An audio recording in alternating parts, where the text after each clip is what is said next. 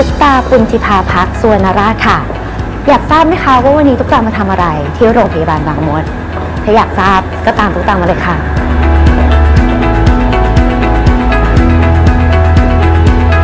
เรื่องความสวยของผู้หญิงเนี่ยนะคะ ยอมกันไม่ได้หรอกค่ะ โดยเฉพาะเรื่องรูปร่าง อกเอวสะโพกต้องครบค่ะ วันนี้ตุ๊กตามีปัญหาในเรื่องของสะโพก และก็ได้คำตอบแล้วล่ะค่ะ ว่าจะแก้ปัญหายังไง ดีค่ะ ตุ๊กตาปุณธิภาพักสวรรณราชค่ะ วันนี้นะคะ ตุ๊กตาจะมาเฉลยปัญหาเรื่องของสะโพกของตุ๊กตากันค่ะ ถ้าอยากทราบแล้วเนี่ยก็ตามตุ๊กตามาเลยค่ะ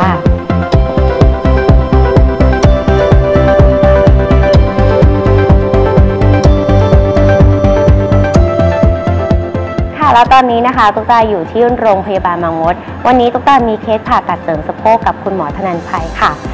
ถามว่าทำไมตุ๊กตาต้องผ่าตัดเสริมสะโพกใช่ไหมคะ จริง ๆ แล้วผู้หญิงเราเนี่ยนะคะ ก็ต้องมีส่วนทรงองค์เอวที่ครบ ต้องมีอกเอวและสะโพกค่ะตุ๊กตาตอนนี้มีหน้าอกแล้ว มีเอวแล้ว แต่สิ่งที่ขาดคือสะโพก เวลาใส่ชุดเนี่ยรู้สึกไม่เซลล์ค่ะ ไม่มั่นใจเลย ต้องใส่ที่เสริมสะโพกตลอดเพื่อให้รูปร่างดูดีดูสมส่วนทำไมถึงต้องเลือกโรงพยาบาลบางมด ข้อหนึ่งเลยนะคะ คุณหมอเนี่ยเป็นคุณหมอผู้เชี่ยวชาญเฉพาะด้าน และที่สำคัญค่ะ ในเรื่องของเครื่องมือการผ่าตัดที่ทันสมัย และโรงพยาบาลบางมดเนี่ยเรารู้จักกันดีนะคะ ขึ้นชื่อในเรื่องของการทำศัลยกรรมอยู่แล้ว นี่แหละค่ะ เป็นสิ่งหนึ่งที่ลูกเราไว้วางใจ โรงพยาบาลบางมด และคุณหมอธนันชัยค่ะ แต่ว่าตอนนี้เนี่ยรู้สึกว่าจะใกล้ถึงเวลาที่จะต้องตรวจร่างกาย เพื่อเตรียมพร้อมว่าวันนี้เนี่ยเราพร้อมที่ทำการผ่าตัดหรือเปล่าค่ะ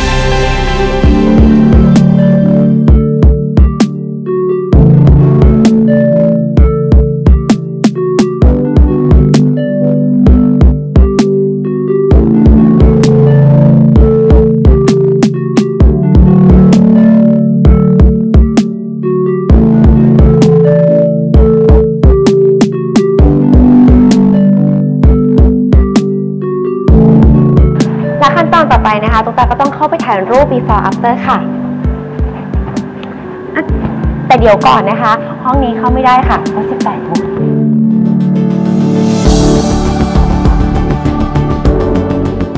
ตอนนี้นะคะตุ๊กตาก็อยู่กับคุณหมอเทินชัยเรียบร้อยแล้วละค่ะ สวัสดีค่ะพี่หมอ สวัสดีครับค่ะพี่หมอคะวันนี้ตุ๊กตาก็ก่อนที่จะรับการผ่าตัดเนี่ยก็อยากจะมาสอบถามในเรื่องของการดูแลในเรื่องของ แผลเรื่องของการเสริมว่าเป็นยังไงบ้างอะไรแบบนี้ค่ะ คือทำศัลยกรรมเนี่ยคะมันมันมีกี่แบบแบบไหนบ้างคะพี่หมอการเสริมสะโพกเสริมก้นเนี่ยเขามีทำกันมานานแล้ว ในสมัยก่อนเนี่ยเขาไม่มีเทคโนโลยีทางการแพทย์ที่ดีเขาก็ใช้การฉีดก็บางคนก็จะไปฉีดซิลิโคนเหลวมาบ้างที่สะโพกที่ก้นครับปรากฏว่ามันมีปัญหาเยอะเลย คือต่อมาเนี่ยมันก็จะแข็ง แล้วบางคนมันก็จะไหลแล้วก็อักเสบง่าย ปัจจุบันเนี่ยการเสริมก้นหรือเสริมสะโพกที่ดีที่สุดนะฮะก็คือการเสริมโดยการใช้ซิลิโคนเสริมเป็นถุงซิลิโคนเลยแล้วในแบบของตุ๊กตาเนี่ยค่ะ ต้องเสริมแบบไหนคะครับก็จากที่หมอได้ตรวจร่างกายคุณตุ๊กตาอย่างละเอียดนะครับ พอเราวัดโครงสร้างแล้วเนี่ยก็ค่ะก็เราจะเสริมให้ขนาดพอๆดีกับโครงสร้างของคุณตุ๊กตาคุณตุ๊กตาเนี่ยเป็นคนที่พอจะมีเนื้อสะโพกเนื้อก้นอยู่แล้วบ้าง แล้วก็ทรงเนี่ยหมอก็จะทำเป็นทรงรีให้ เพื่อที่จะมันจะได้มีความ curveด้านบนด้านล่างให้พอเหมาะแล้วมันจะดูเป็นธรรมชาติกว่า หลังจากที่ตุ๊กตาผ่าตัดไปแล้วอะค่ะ ผลข้างเคียงมันมีอะไรบ้างที่มันจะเป็นแบบเอฟเฟกต์กลับมากับร่างกายอะไรแบบเนี้ยค่ะ สิ่งสำคัญที่สุดเลยคืออ่าหลังผ่าตัดเนี่ยเราต้องมีการดูแลที่ดีนะแล้วเรามีจำเป็นต้องดูแลที่ดีกว่าการผ่าตัดอย่างอื่น พอสมควรเลยดังนั้นเนี่ยหลังผ่าตัดหนึ่งอาทิตย์ก็จะให้นอนค่ะคว่ำหรือนอนตะแคงอันนี้คือการดูแลตัวเองถ้าเกิดดูแลตัวเองได้ดี หลังผ่าตัดเนี่ยผลลัพธ์ที่ได้มักจะพอใจค่อนข้างสูงเลยครับที่สำคัญเนี่ยค่ะพี่หมอคะเพราะว่าหลังลูกตาผ่าตัดเนี่ย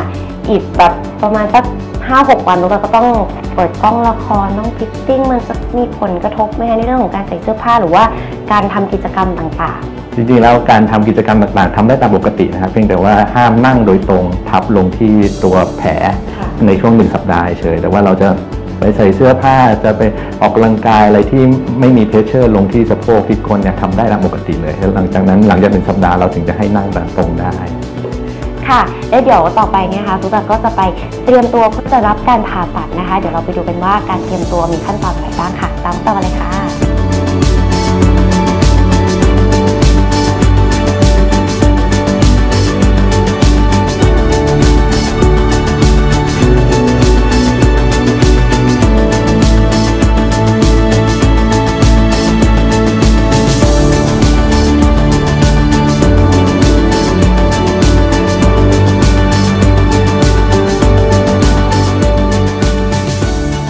ก็สำหรับการผ่าตัดเสริมสะโพกเสริมก้นในวันนี้ก็สำเร็จลุล่วงไปด้วยดีนะครับ การผ่าตัดก็ใช้เวลาประมาณชั่วโมงหนึงครับหลังจากนี้หลังจากผ่าตัดเสร็จก็ต้องมีการพักฟื้นมีการดูแลที่ดีครับก็เดี๋ยวจะมี